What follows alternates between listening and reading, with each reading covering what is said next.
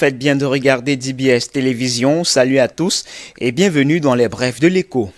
Le gouvernement a déposé ce 25 novembre 2020 au Parlement le projet de loi de finances 2021. Il table sur un budget de 4 865,2 milliards de francs CFA, soit 4 670 milliards au titre du budget général contre 4 409 en 2020 et 195,2 milliards de francs CFA pour les comptes d'affection spéciale contre 4 632,7 en 2020 ce qui fait une hausse de 232,5 milliards comparativement à 2020. Pour le prochain exercice, le gouvernement table sur des recettes internes et des dons d'un montant de 3 456,6 milliards de francs CFA en augmentation de 17,2%. Elle se décline comme suite. 393 milliards pour les recettes pétrolières et gazières, 2743,1 milliards de recettes fiscales et douanières, 213,5 milliards de recettes non fiscales et 106,9 milliards pour les dons. En ce qui concerne les dépenses du budget général, soit 4 670 milliards, voici la ventilation. 2335,5 milliards pour les dépenses courantes hors intérêt, 1352 milliards pour les dépenses en capital, 992,4 milliards pour la dette publique. Le projet de loi de finances 2021 relève qu'un allègement de 66,5 milliards de francs CFA a été pris en compte concernant le principal de la dette extérieure vis-à-vis des bailleurs publics du G20. Outre les besoins liés au financement du déficit budgétaire en 2021, les autres charges de financement et de trésorerie s'établissent globalement à 820,3 milliards de francs CFA et sont constituées de postes suivants. 327,5 milliards pour l'amortissement de la dette extérieure, 287,8 milliards pour la dette intérieure, 72 milliards pour le remboursement des crédits TVA, 20 milliards pour la sortie nette au profit des correspondants pour financer euh, ce déficit budgétaire qui se chiffre à 1484,9 milliards de francs CFA au total, le gouvernement entend recourir aux instruments suivants. Tirage sur prêt-projet, soit 703,4 milliards, émission des titres publics, soit à 350 milliards, financement bancaire, soit 102 milliards, et appui budgétaire, soit à 260 milliards. Au rang des innovations, le gouvernement indique que le projet de loi de finances parachève la rationalisation des comptes d'affectation spéciale, renforce la discipline et relève de 40 à 200 milliards le plafond des avals et garanties accordées par l'État aux établissements et entreprises publiques ainsi qu'aux entreprises privées.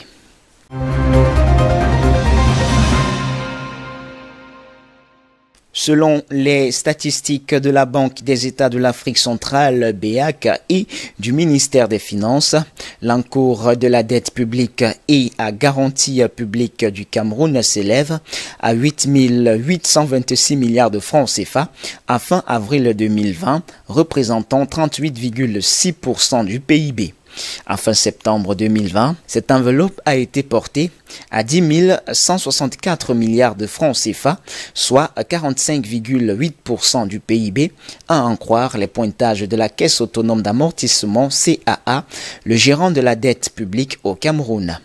Mathématiquement, l'État du Cameroun a donc vu sa dette augmenter de 1338 milliards de francs CFA au cours de la période en 5 mois allant d'avril à septembre 2020, soit 7,2% du PIB. Cet accroissement exponentiel de l'encours de la dette publique du Cameroun entre avril et septembre 2020 peut s'expliquer par l'accélération des décaissements des financements extérieurs.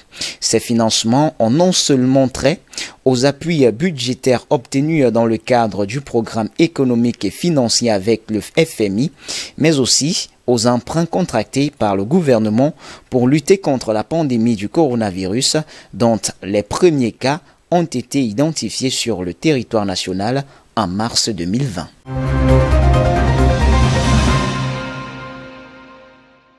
Depuis la fermeture des frontières nationales par les autorités camerounaises le 18 mars 2020, les clients n'ont plus la possibilité de traverser le pont Ngeli pour venir se ravitailler à Kousséri.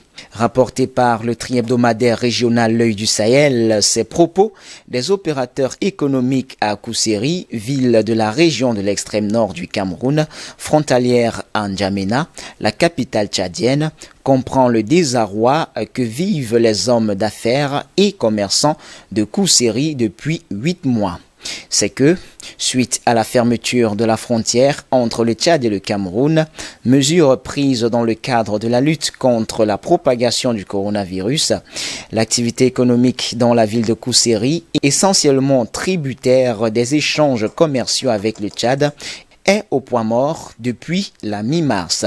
Le malaise et le mal-être des opérateurs économiques de cette ville camerounaise sont tels que, apprendant de bonnes sources, une initiative collective est en préparation pour demander aux autorités camerounaises la réouverture de la circulation sur le pont Guéli, infrastructure qui matérialise la frontière entre la ville de Kousséri et N'Djamena.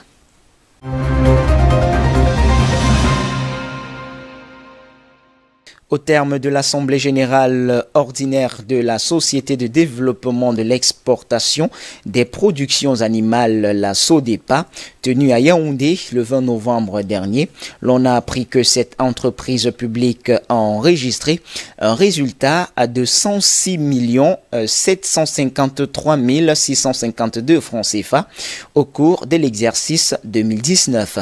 Ce résultat de 2019 est supérieur à celui de 2018 de 13,30 millions de francs CFA. En effet, lors de l'année 2018, la SODEPA avait enregistré un bénéfice de 93 445 949 francs CFA, en hausse de 14,24%. L'année d'avant, elle affichait un résultat négatif de moins 369 607 763 francs CFA. Selon l'entreprise, ces performances haussières sont en partie liées au contrat plan 2013-2016 avec l'État d'un montant de 4,2 milliards de francs CFA. L'exécution de cette convention a permis de rénover les abattoirs à Yaoundé et Douala et d'acquérir quatre abattoirs mobiles. Avant même la fin d'année 2019 et en attendant les chiffres définitifs, l'entreprise a pu abattre au cours des neuf premiers mois 153 863 bovins dans les abattoirs de Yaoundé, Douala et Ngaoundéré. 23 073,45 tonnes de viande mises à la disposition des consommateurs par cette structure sous tutelle du ministère en charge de l'élevage.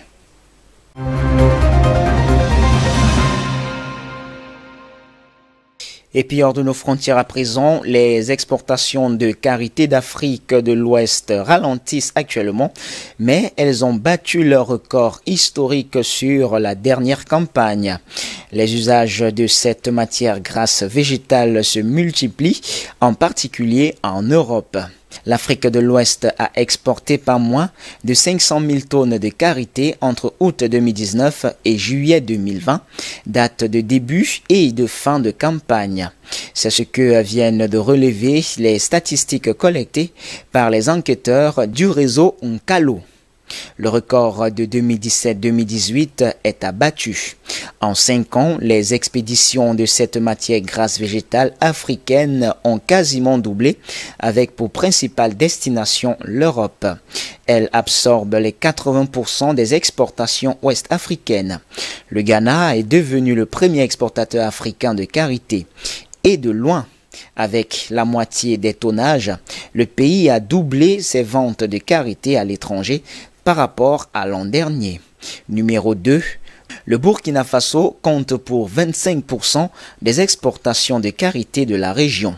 Numéro 3, le Bénin. Ses exportations via Cotonou dévancent cette année celles de la Côte d'Ivoire. Eh bien, c'est tout pour les brèves de l'écho de ce jour, mesdames, mesdemoiselles et messieurs. Merci de nous avoir suivis. Les informations se poursuivent sur nos antennes d'IBS Télévision. Restez donc des nôtres naturellement.